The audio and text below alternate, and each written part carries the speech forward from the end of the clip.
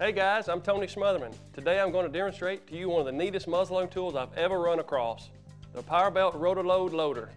The Rotoload is actually five tools in one. It holds three powder and projectile loads at the ready for quick reloads. It also holds your 209 primers. And there's your short starter, palm saver, and 209 remover included as well, all in one self-contained package. Here's how to load the Rotoload.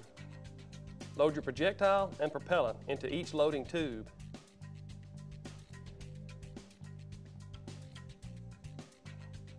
Then close by aligning the opening over the empty chamber, the one that aligns with the bullet starter.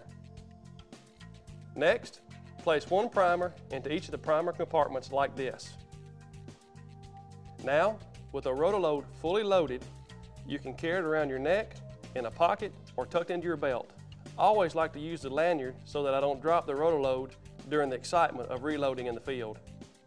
Now we're ready to load the rifle. First, position the ears on the base of the Rotoload over the muzzle. This will ensure proper alignment. Rotate the cylinder while holding the lower cap stationary. This allows the first loading tube to open above the barrel. Once you do this, the powder charge and the bullet will drop into the muzzle. Use the Rotoload's short starter to start the bullet down the barrel then go straight to the ramrod. Once the bullet is well down the barrel, use your Rotoload's palm saver to firmly seat the bullet. They don't call it a palm saver for nothing. And the last step, just remove a primer from the primer compartment and prime the gun.